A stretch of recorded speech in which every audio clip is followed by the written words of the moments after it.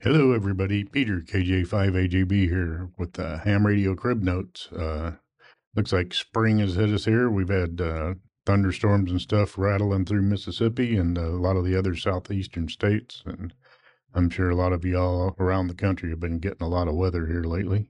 But, uh, anyways, I'm going to start this off. We're going to talk about uh, cluster commands for in ham clock right now and how to turn on and off certain things. I've got a few lines I've inserted into my uh, ham clock right now that are I've got them turned off, and then I'll turn them on, and uh, we'll see how it goes. We'll explain, try and explain the way I think they work, anyways. And uh, there's an extensive uh, list of commands online. I'll have a link for that. I'll show it to you. But anyways, let's start this off with uh, thank you all to the new subscribers and uh, likes. I'm well over 290 subs now, and that's great. So we're this thing's taking off and growing pretty good. Uh, I want to try and hit uh, 300 or 350 by the end, end of next month in April. There. Uh, I don't know what y'all have been up to here lately, but I've been restringing my fishing poles, getting ready to go do some fishing. It's time to get out there and probably do some POTA work. I noticed on the bands today, there's a lot of contest stuff going on, so that's cool. So, anyways, uh, let's get going here.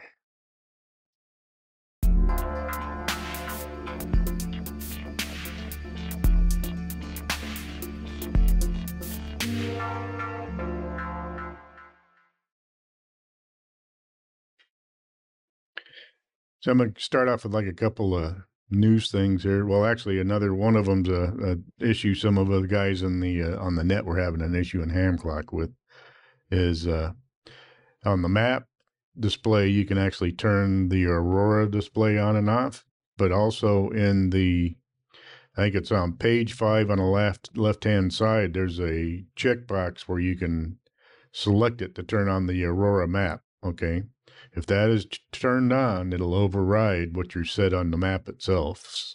So a lot of them couldn't figure out why if they turned it off on the map, it kept showing up on them, and uh, I happened to go in and look at the uh, the settings, the main settings on ham clock, and and deselected that on mine, and that cured the problem. So if you're having that issue and you haven't figured it out yet, uh, yeah, page five in the settings will turn. There's a setting in there for the Aurora map. You can turn that off right there, and uh, because if you have it turned on, the setting on the map itself will not override that. So.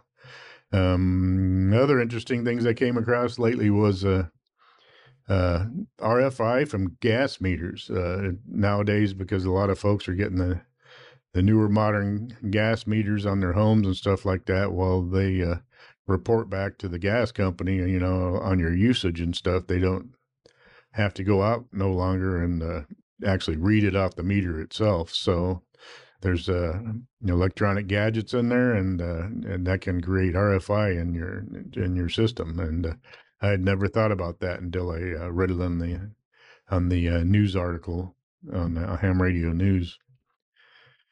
Um, another thing I came across was uh, a, uh, a web page called Ham Cam Front Door, and uh, I will switch to that here. Let's see, go to my screen share. Yeah, that's not it. This one's it. All right. So, uh, ham cam front door here. Get my little uh, pointer up here. Uh, this is it here. I'll put the link down below too, so you can uh, hook up to it. Uh, move my camera so I'm centered there. Uh, but anyways, when, when you get on there, you put your call sign in the orange box there, and you can log into any of the room below. Uh, there's a list here of everybody that's in there now, and I guess it's you can get in there and video chat with everybody. I guess it's a web based kind of like Zoom thing just for ham operators. So that that that was pretty cool. It's the other thing that was in the news here lately was uh,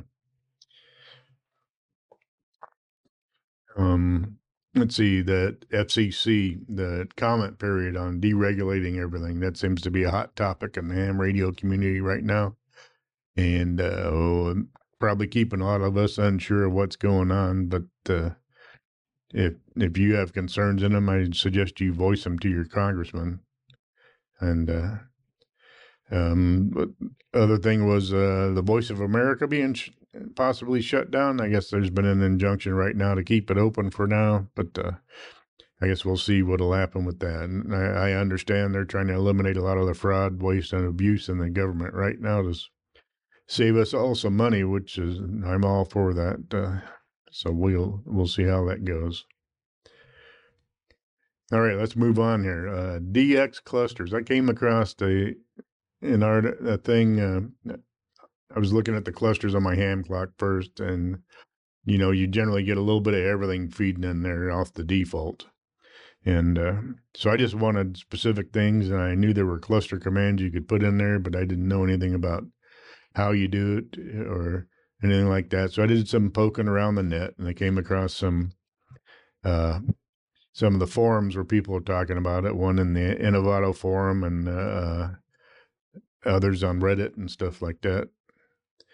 I uh, came across a, a, little note from the, the, guy that does the DX cluster in uh, in the UK. There, that's the uh, dxspider.co.uk cluster, and uh, he posted a couple of uh, good comments there, and he also included a link into the DX cluster manual.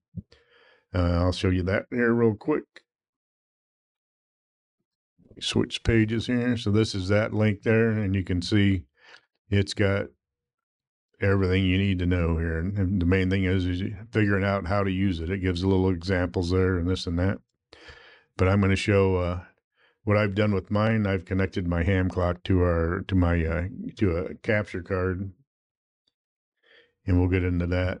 I uh, came across a, a little setup that uh, somebody had in theirs on uh, rejecting certain things and accepting certain things, and I thought that was pretty cool. So I, those are the ones I've included. So I'm going to go to my uh, ham clock overlay here, and, uh, this is what I've got right now. You can see uh,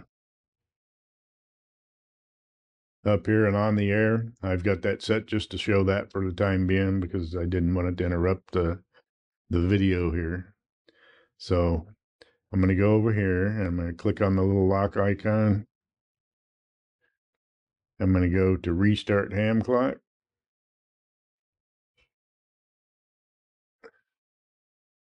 Click OK. Oh, I must not have clicked in the right spot. Restart ham clock. Okay. Are you sure? Okay. Click anywhere, gonna go in the setup. Okay. Go to page two. I'll show you that page five thing for the Aurora map after I get done with this. So you notice on the left hand side here, I've got cluster set to yes, UDP is no, watch is off. Uh, the port is 7300 and I'm using the DX Spider from the UK there and you use your call sign as the login. Okay, so I already preset the commands in here and I've got them turned off right now.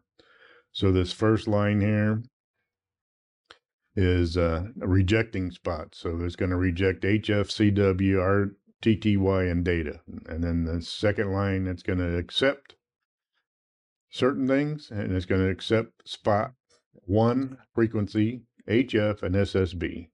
Okay. And then I'm going to reject spots on certain frequencies on the third line here on 160 meters, 80 meters, 30 meters, and 17 meters. And one more line of rejecting spot three on 16 meters, 15 meters, 14 meters, and 12 meters. Okay. And then I'll go ahead and I'll uh, turn each one of these on. I guess I had one of them still on from before. Or I accidentally turned it on with the touchpad here. Okay, let me go up to page five and I'll show you the uh, the Aurora thing. On the left-hand side here, on page five, it says auto space weather map. Set it to no if you don't want it to be constantly on just so you know.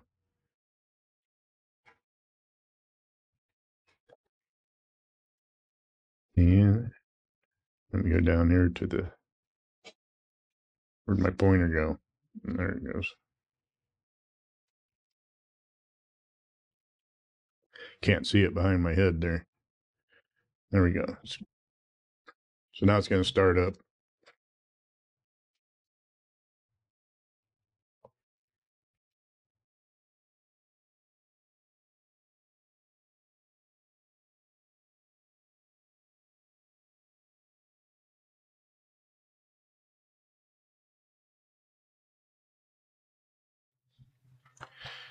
Not sure why, but for some reason my audio dropped out on the last part of the video there, so I have to I had to reshoot it. But anyways, um, you can see up on the uh, the cluster commands here, it's pulling in most of the HF stuff. One of the things I found is that initially after you go back in to your ham clock launching and everything, you have to wait a little bit for the DX commands to update. So it'll filter out the ones you don't want and it'll include the ones you do want. So um, I think there was one other hot topic I came across recently. But, anyways, on these commands, if you have any uh, tips or stuff like that to share with us, go ahead and put them in the comments down below. And uh, I hope you uh, enjoyed this video. And if you did, get my little sign there. Don't forget to subscribe and like. It won't hurt you to subscribe. It's like right down there somewhere. You know, you can turn it off later on if you want. But uh,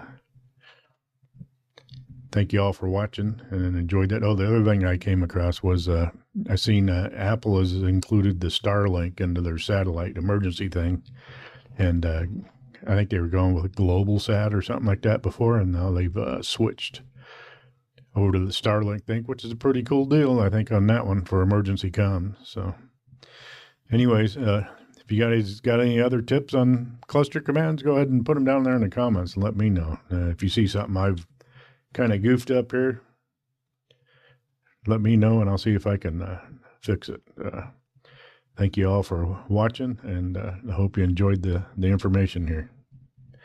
Uh, this is KJ5AJB. we'll be signing off 73s.